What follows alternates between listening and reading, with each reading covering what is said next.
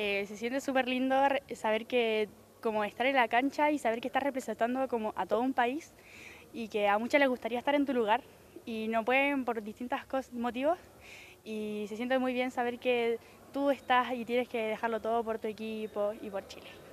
¿Qué te dicen tus cercanos, eh, familiares, eh, conocidos, amigos? Porque precisamente juegas por Chile.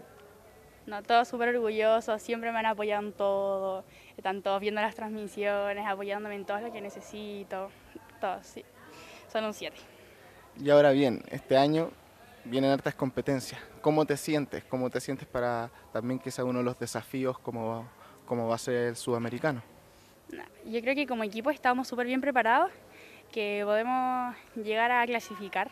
Yo creo que esa es como la mayor expectativa que tenemos. Y en este sudamericano se suma Brasil y Argentina, pero nosotros hemos entrenado bien y yo creo que podríamos llegar a estar entre los tres primeros y clasificar.